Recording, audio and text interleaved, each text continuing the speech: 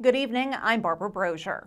Both of Indiana's U.S. senators balk at support for universal background checks for all gun sales. This comes amid renewed debate over gun regulations in the wake of mass shootings in Texas and Ohio.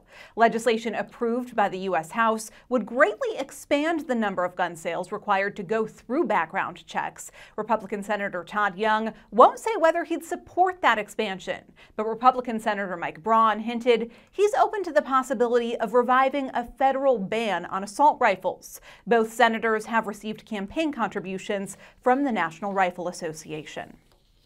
Bloomington's mayor will host a Facebook Live discussion Monday to talk about how to make the farmers market a safe, welcoming place for all. The city suspended the market for two weeks after growing controversy over the presence of Schooner Creek Farm, whose owner has alleged white supremacist ties.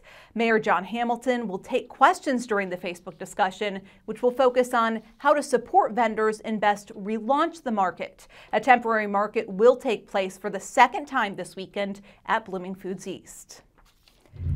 And using electronic smoking devices in places where smoking is banned could soon be prohibited in Columbus. The City Council voted last night to add the devices to its local smoking ordinance. Some restaurant owners have been confused about whether they can confront patrons who are using e cigarettes in non smoking establishments. The Council will take a final vote on the amendment in two weeks.